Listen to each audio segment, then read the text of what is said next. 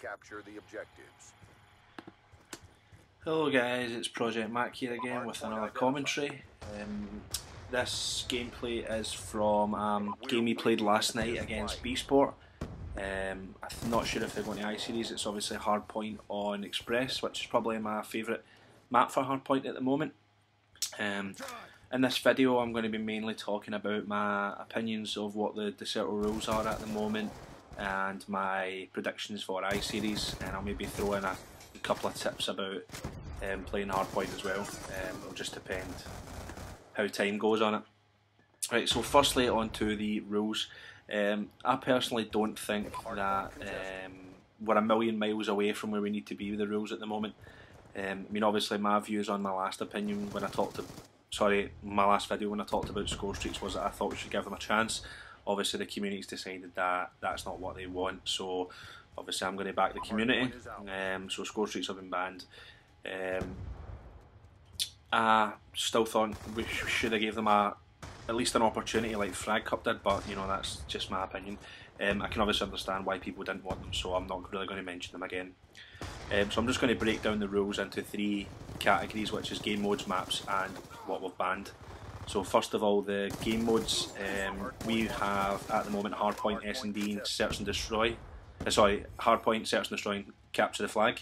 Um, personally, I think Hardpoint's by far the best game mode that we've got so far. I think it's new, it's exciting, it's something that we've not quite had before. Um, and for that reason, you know, it's my favourite game mode.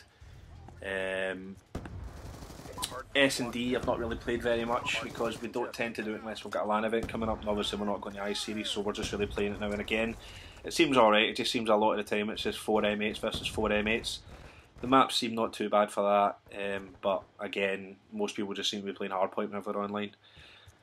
Capture the flag just seems like something that we've just kind of came to accept is going to always be in our rules. I don't think really anybody's enjoying capture the flag on this game, um, but I think that could be down to a couple of the bans and the maps not being particularly great for it. I'm not really enjoying capture the flag at all at the moment, um, and I'm just really not wanting to play it.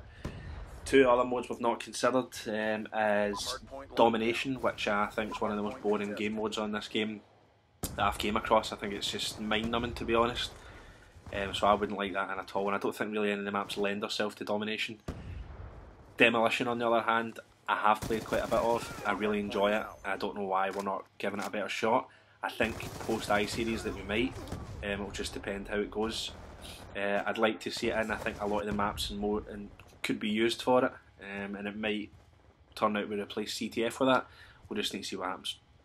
Um, now the maps, I'm only going to mention the ones that I don't think work. Um, for capture the flag, I've got a bit of a problem with overflow. I just think that it's ridiculously one-sided, and because of that, it means that one side you just heavily camp on, and it's the one we spawn right at the top of the road, um, and you just find people camp on it, try to play to either draw it or lose 1 0 so they can try and win the next side. It's not how a CTF should be played. It's really boring. The map's too big. I don't enjoy it. I, I know people might not agree with me, but I just don't enjoy it. Um, I know we use cargo S&D um, for S&D only. I wouldn't mind giving it a shot on CTF and maybe hardpoint. I know people have played and said they didn't like it, but I don't see what harm it would do. Um, cargo seems to be an alright map. Um, now the other map I'm going to mention is Carrier, which is one we don't use at all, but that I really like playing. Um, I know when we spoke to Hastro about Carrier at Gamescom, he kind of mentioned that it was a map specifically designed for us um, because it's symmetrical apparently. Um, I don't know, but I think we could at least give it a shot. Maybe something like capture the flag, for example. I think it might be alright on that. Um, but that's really all I've got to say about the maps. The rest of the maps are really alright for the moment. And the other thing I want to talk about was the bans. Now, a lot of, there's a lot of controversy about this, and people agree and disagree. And I know that some of the rules we have at the moment are only um, temporary rules for I series, but the main talking point seems to be the whole tac mask versus stuns. Uh, in my opinion, I think you can't have one without the other. I think we either need to get rid of stuns and tac mask, which I don't think is the option we should go down or we need to bring back tac mask and keep stuns, which I think is a good one. I think this is one of the reasons why no one's enjoying CTF at the moment, is because because it's so AR dominated at, at the moment. People seem to be it's, it's difficult to get to someone's flag, and then you finally get there.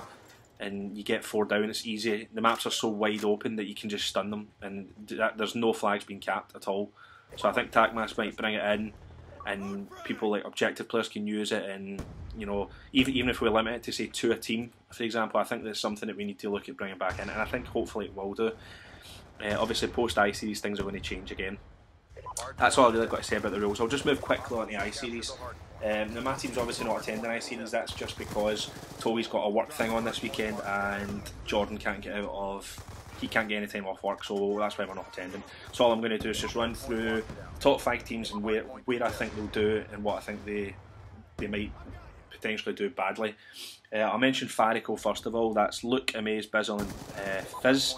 I think their best potential finish could be a winner, um, and I think that their worst they, they, they would hope for is a top five. I think top five with the amount of teams scoring isn't great. They should be really aiming to get top two or to even win it. The CSC I think have put a lot of time into the game. I think what they're looking for best placement wise is top three. Um, worse, if things all fall apart, they could end up with something like top eight. But I really think that they might surprise a couple of people and get it. Um, Visions, uh, Tommy's team. Now this is a team that's because of the Tommy factor. It's always going to be a case of how much he fancies playing and how much he wants it. Um, we played them last night. They, they were probably the best team we've played yet. Best, obviously, they could win it. And worst, I think they could get top five. A lot of it could be down to Tommy and how well Zanetti steps up to being, you know, a proper team at this point. Uh, TCM, uh, Madcat Josh, Rich and Flux, obviously, they can't really be aiming for anything else but to win the event. The worst I think they could do is probably get top three. Um, and the last team I'm going to mention is Prophecy, which is Swanee Shane, and Jake. They really can't be aiming for anything else but winning the event. Um, and the worst case scenario, they could get top two. Um, that's mainly because they've never finished outside at the I Series. They, they, they really should be going into this event to try and win it.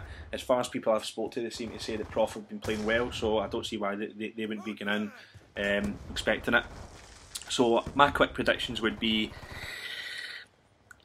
a TCM win with Prof coming second and Fariko coming third. Now I know I mentioned that Fariko were my dark horses and they still are, but I think that Prof, just with the players I've got and the time they've put in before it, they should really be expecting to win. I think they will. I think TCM might push them close, and a lot of it will be down to Dylan and how well he plays. And obviously, Fariko could, could surprise people and end up winning it. So that's my predictions for the event. Um, I'll be putting another video over the course of the weekend, just maybe talking about day one, so stay tuned for that.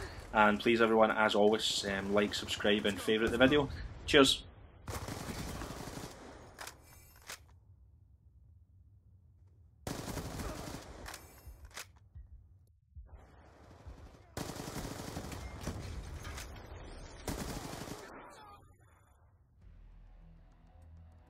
Operation